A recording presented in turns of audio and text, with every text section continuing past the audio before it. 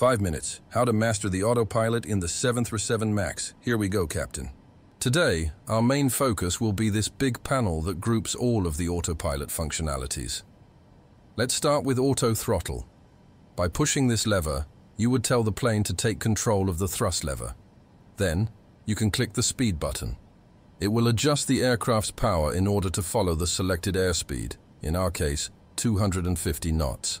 Please note on the FMA the MCP speed indication, meaning the auto throttle will follow the speed indicated on the MCP here. From that configuration, you can increase or decrease the airspeed value using this knob, and the plane will automatically modify its thrust to match the selected speed. Auto throttle is set. Now let's activate the general autopilot system. Activate the autopilot by clicking one of the top buttons on the right side of the MCP. When activated, a green CMD would appear on the primary flight display, meaning the autopilot is active.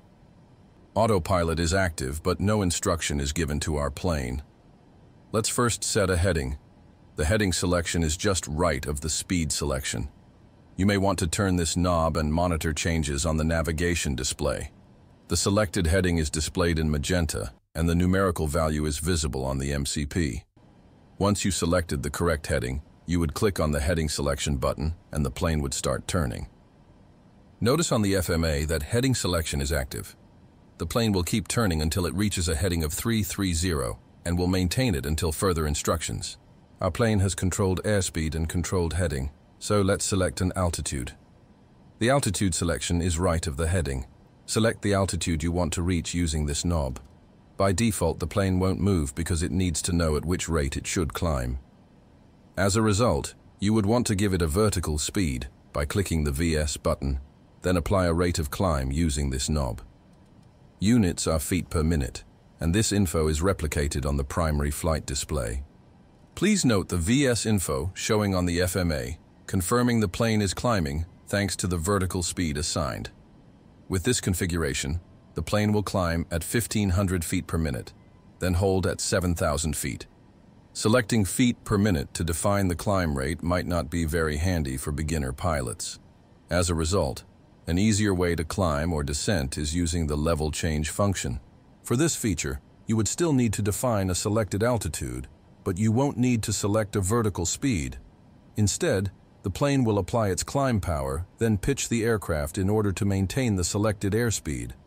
Same as VS function, the plane would level and hold at the selected altitude. Note the FMA is showing N1 power, which is the climb power, and MCP speed for the targeted airspeed to follow during climb. This sums up selected part. Now let's get into managed functionalities. Managed means you have a valid flight plan registered on your FMS. If you want to know more about how to configure the onboard computer and input a flight plan, feel free to check our tutorial series about it. Managed functionalities are divided in two parts. The first part is LNAV, for lateral navigation that will control the plane's heading. The second part is VNAV for vertical navigation that will control the plane's altitude. Let's start with LNAV. Our plane is flying in heading mode and we would like to join the flight plan.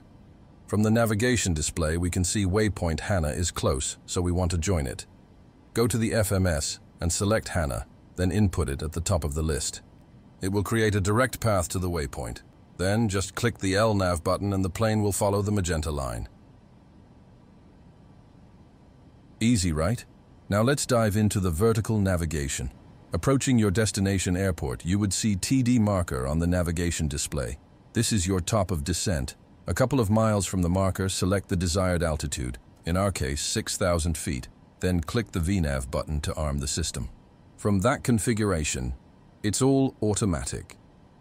Approaching the top of descent, you would see the VNAV path appearing on the screen, and the plane will follow it, while respecting constraints all along the way. You can now take a coffee and relax on your gaming chair. The plane will continue until the approach phase kicks in. Speaking of the approach phase, in the next video we will see how to make this big bird lands without doing nothing. And if you want to know more about the autopilot functionalities, feel free to check our deep dive tutorial about it. Thanks for watching. Like and subscribe for more content. Safe flight, Captain.